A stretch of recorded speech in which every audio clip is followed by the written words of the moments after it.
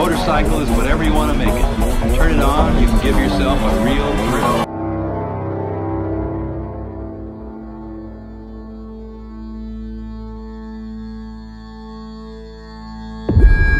How's it running?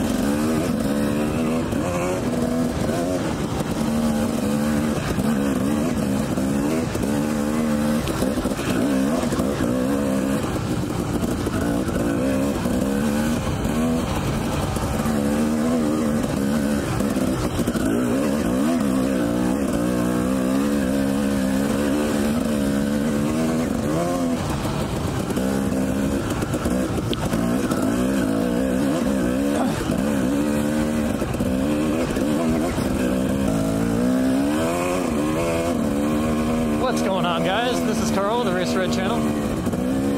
Today I'm up Cambridge, Idaho, and it is beautiful up here, early spring.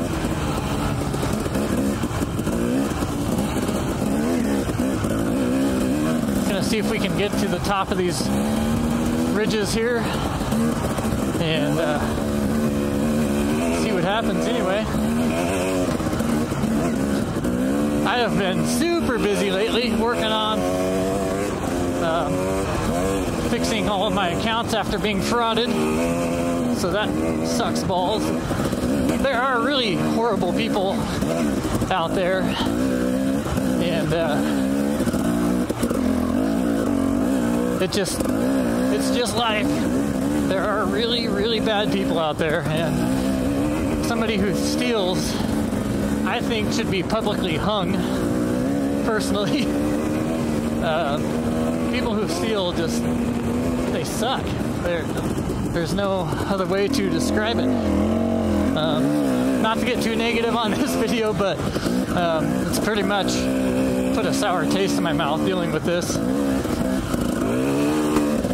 Basically, they they had a very in-depth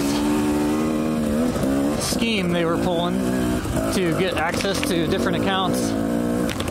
And luckily, we were able to put a stop to it just in the nick of time. But now I have to go and redo all of my stuff. So.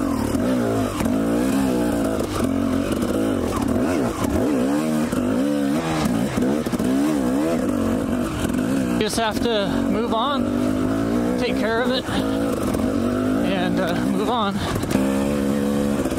Oof, we're already getting into some snowy area. It'll be interesting to see how far up we can get. But I've talked about this in the past, you know, these people who steal account information and whatnot. And what's even worse to me are people who are willing to steal things like dirt bikes, you know, because that's what you've worked to uh, get. You know, that's your extra money.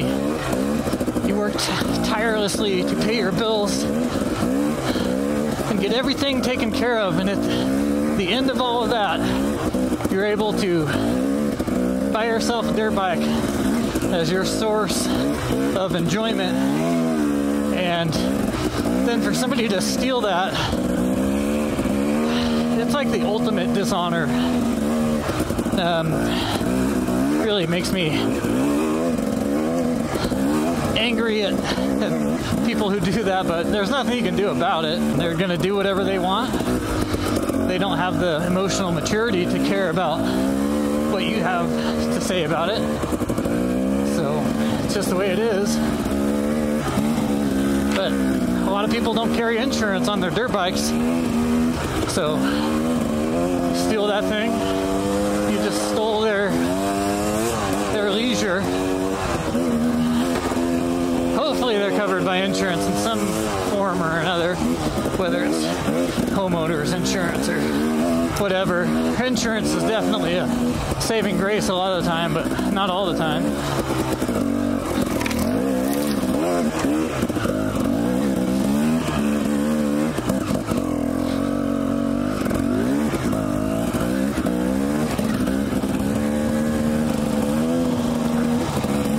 Well, this snow is getting pretty deep already.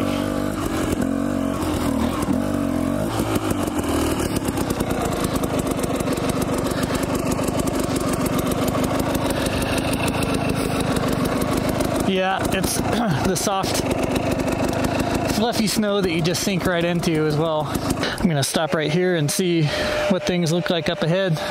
Catch you guys on the next section. Peace.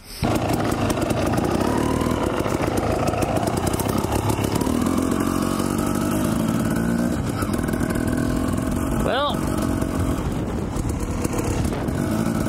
my front tire has gone completely flat.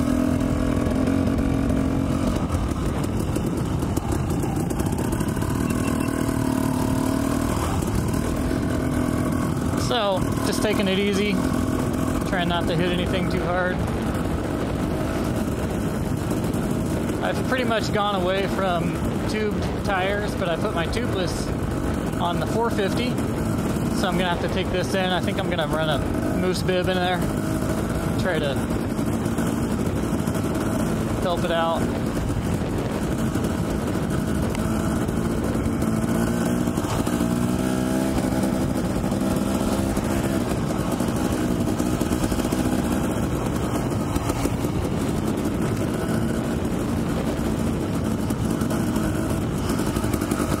But uh, the steering is very big when you have a flat tire that has a tube in it.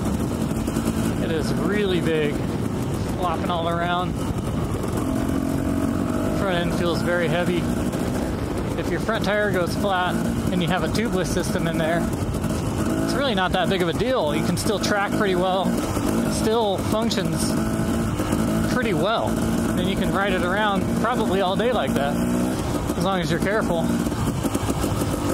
But this tubed tire really sucks.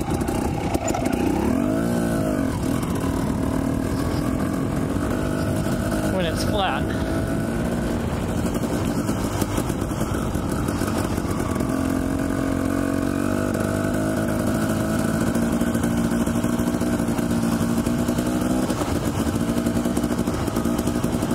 Figure as long as I don't go too fast, I won't fly off the trail. I'm still wobbling all over the place in the front, but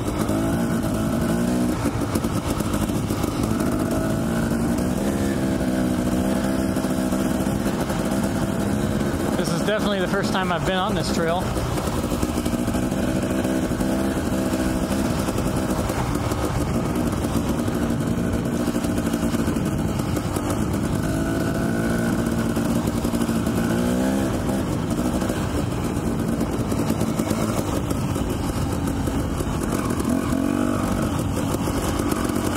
Seems pretty smooth. I was pretty concerned about sharp edged rocks, and I still am. Hopefully, as we get into the sagebrush, things don't get rocky. It's nothing to blow through a flat tire and hit your rim quite like these sharp edged rocks.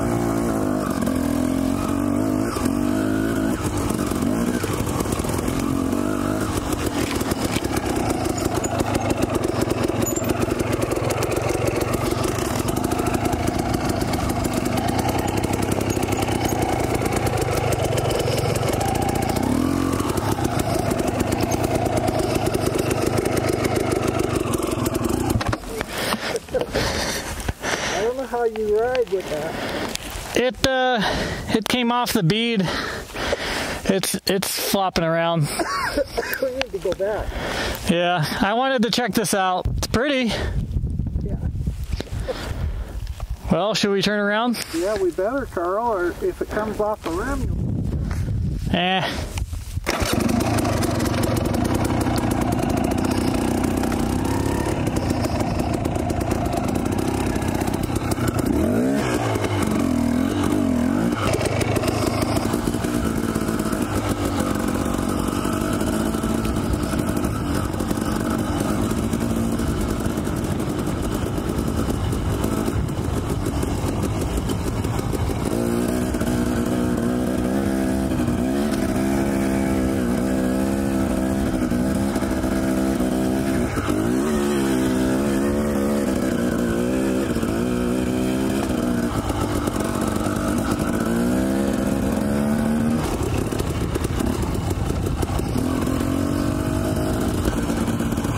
Well, we are aborting the mission today. Turning around and heading back to the truck. But this is a neat little trail that we found over here. I haven't ridden this one before.